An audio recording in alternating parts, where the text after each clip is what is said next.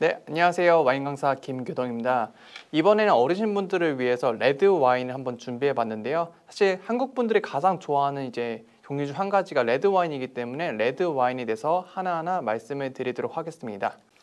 네, 사실 레드 와인을 알려드리기 전에 실제로 이제 와인을 구매할 때 어디에 가서 와인을 구매하면 좋을까에 대해서 고민이 있으실 텐데 만약에 조금 와인에 관심이 있어서 실제로 와인을 좀 구매하고 싶은 분이 계시다면 저는 이마트를 강력하게 추천을 드리고 있고요.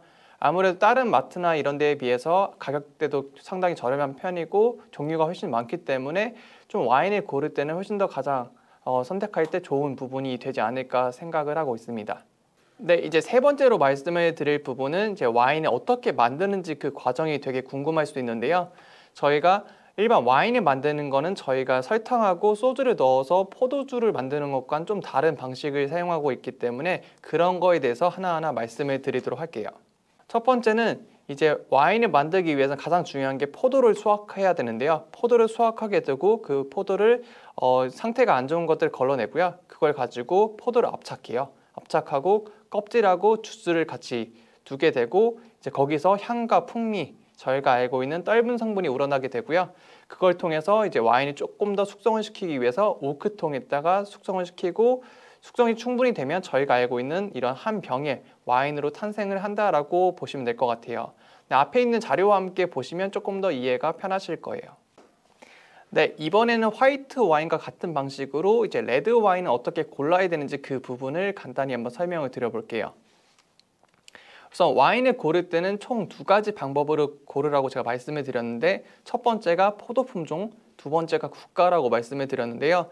저희가 이제 국가를 저희가 모르는 분이 계실 수 있으니까 다시 한번 설명을 드려볼게요. 우선 국가는 저희가 두 가지로 나눠서 설명을 드릴 수 있어요. 첫 번째는 이제 신세계, 두 번째는 구세계 국가라고 얘기를 하고 있는데요. 저희가 신세계, 구세계는 좀 차이가 확실히 있어서 각각의 의미를 설명드리고 제가 그거에 대해서 이걸 왜 저희가 알고 있어야 되는지 그런 부분도 같이 한번 설명을 드려볼게요. 우선 구세계는 옛날부터 와인을 생 산했던 국가들을 저희가 구세계 와인 국가라고 부르고 있고요. 반면에 신세계는 요즘의 와인을 생산했던 국가들이 있죠. 그런 와인 생산 국가들을 저희가 신세계 와인 국가라고 하고 있어요. 대표적으로 호주, 뉴질랜드, 아르헨티나, 칠레 이런 국가의 와인을 저희가 신세계 와인이라고 부르고 있어요. 네, 신세계 와인이라고 하는 곳은 아무래도 더 더운 기후를 가지고 있기 때문에 포도가 잘 익어요. 네, 잘 익은 포도를 가지고 와인을 만들기 때문에 아무래도 향이 더 풍부할 수밖에 없거든요. 그래서 네, 어르신 분들 중에서 향이 좀 풍부한 스타일의 와인을 원하신다면 아무래도 신세계 쪽 와인을 선택하시는 게 훨씬 더 좋다라고 생각을 하고 있어요. 그게 와인을 고를 때 첫 번째 기준이고요. 그리고 이제 포도 품종을 한번 설명을 드릴 건데 저희가 오늘 레드 시간 때 배우게 될 품종이 딱두 가지만 배우게 되실 거예요. 그래서 확실하게 차이가 있기 때문에 내가 어느 쪽의 와인이 더 취향에 맞는지 그걸 한번 추측해 보는 것도 좀 재미있는 포인트가 될 것 같아요. 네, 첫 번째 품종은 이제 Cabernet Sauvignon이라고 하는 품종이고요. 이 품종은 굉장히 무겁고 텁텁한 느낌의 굉장히 강렬한 와인을 만들고 있는 포도 품종이라고 보시면 될 것 같아요. 제가 실제로 호주에서 이제 와이너리에서 일하면서 포도를 따면서 이제 여러 품종들을 먹어봤는데 이제 Cabernet Sauvignon이라고 하는 품종이 가장 껍질이 두껍더라고요. 그 껍질을 씹으니까 약간 떫은 느낌이 굉장히 많이 나온 느낌을 받았고 그런 이유 때문에 이제 와인을 만들 때 그 텁텁한 탄닌 성분이 많이 나온다라고 보시면 될 것 같아요. 정리해서 한번 다시 말씀을 드리면 만약에 라벨에 Cabernet Sauvignon이라고 적혀 있으면 이 와인은 무겁고요. 그리고 떫은 탄닌 성분을 가지고 있고 그리고 높은 산도를 가지고 있는 게 특징이라고 봐주시면 돼요. 향적인 부분에서 조금 궁금할 수도 있는데 이 와인을 만약 tasting하게 되신다면 어, 향 자체가 굉장히 진한 검은색 베리류의 향을 느낄 수 있어요. 대표적으로 이제 검은색 어, 블루베리 같은 느낌, 블랙베리, 그리고 아, 약간 건자두에서 느낄 수 있는 그런 풍미들이 이제 Cabernet Sauvignon이라는 곳에서 좀 많이 느껴진다라고 보시면 될 것 같고요.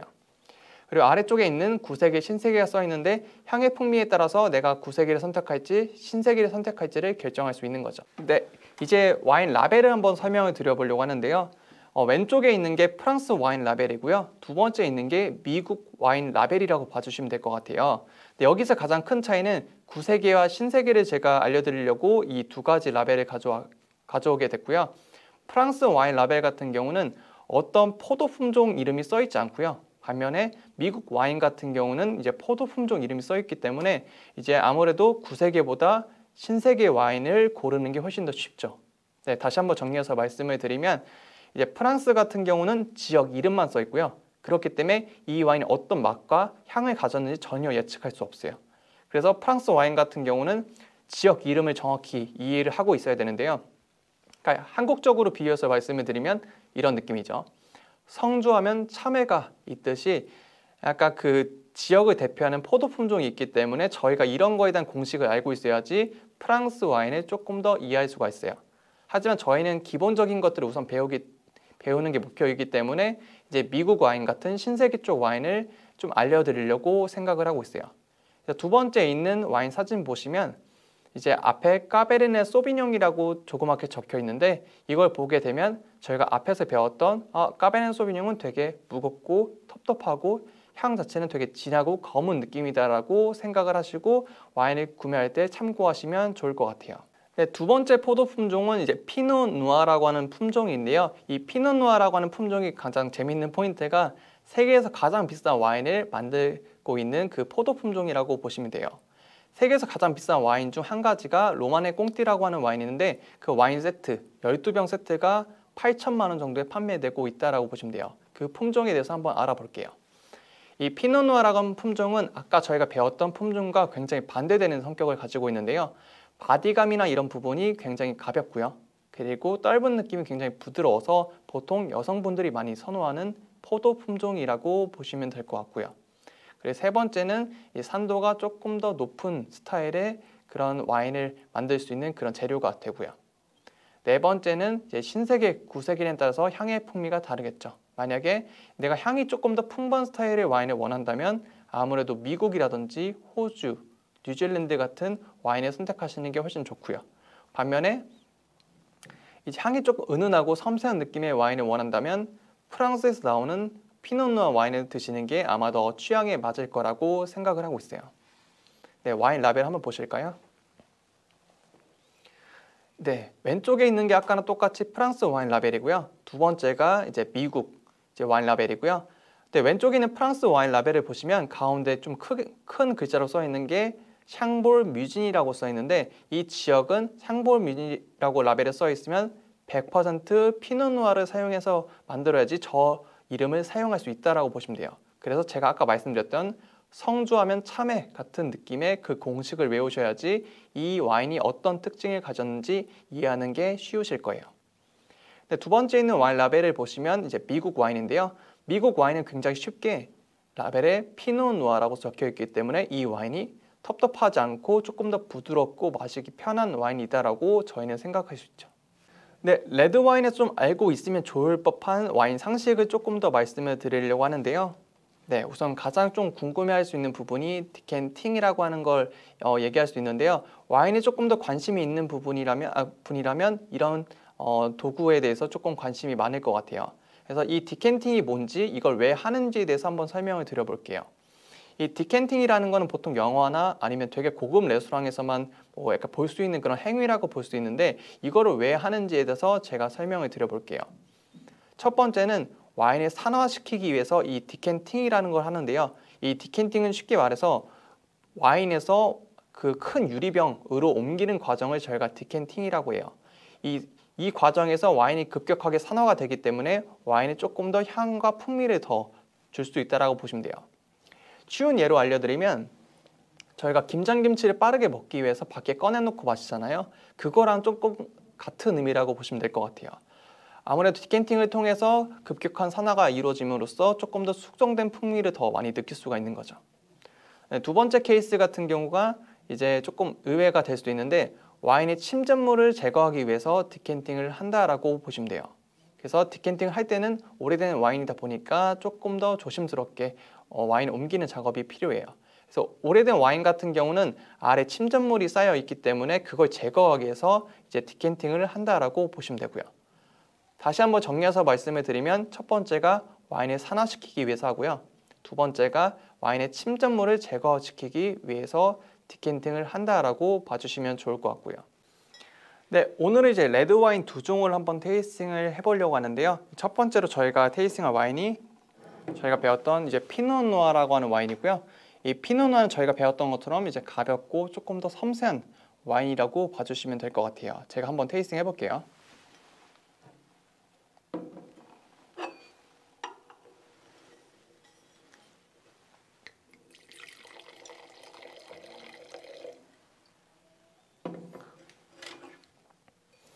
네, 저희가 이전에 배웠던 것처럼 이제 와인의 색깔을 보려면 뉘어서 와인의 가운데 색깔 하얀색 종이를 대시고요. 이 와인의 가운데 색깔을 봐주시면 좋을 것 같아요.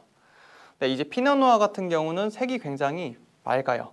이런 색을 저희가 맑은 루비 색이라고 보통 얘기를 하고 있고요. 그래서 색을 보시면 굉장히 맑고 좀 가벼운 느낌의 색상을 볼 수 있을 거예요. 그리고 두 번째가 이제 향인데요. 향을 한번 제가 체크를 해볼게요.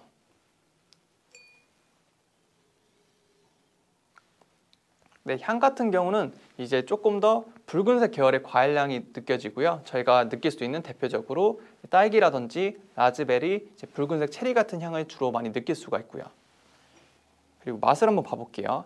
맛 같은 경우는 이제 당도, 산도, body, 탄닌감 요 네 가지를 가지고 한번 제가 말씀을 드려볼게요.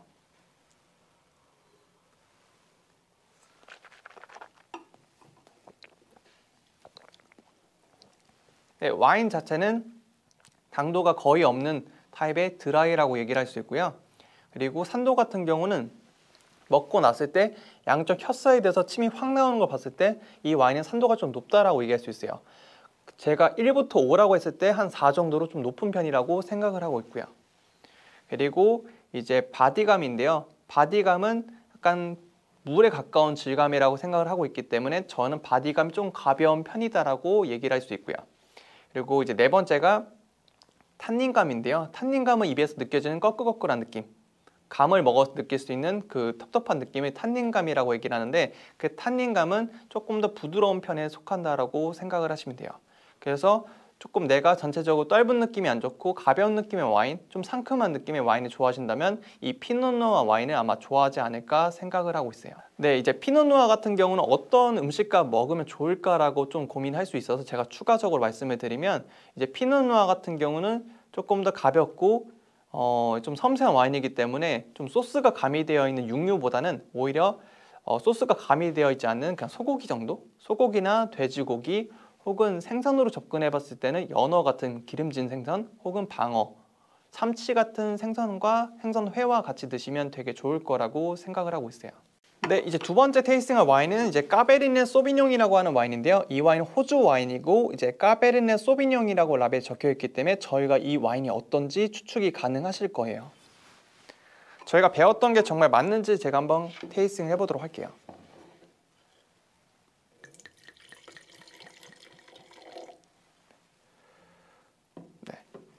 첫 번째 와인과는 확연하게 다른 점이 색깔이 아예 달라 서 저희가 확실하게 구분할 수 있는데요.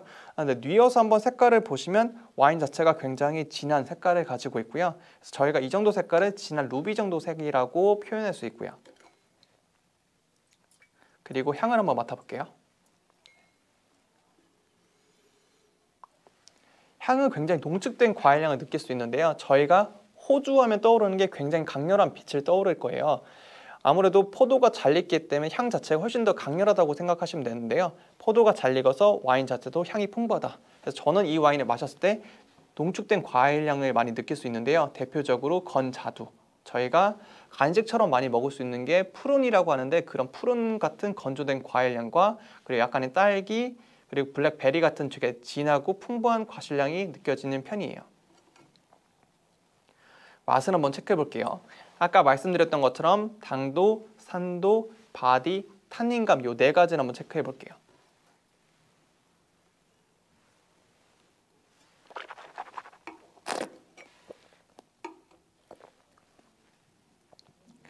네, 이 와인은 거의 달지 않은 어, 드라이한 와인이라고 얘기할 수 있고요.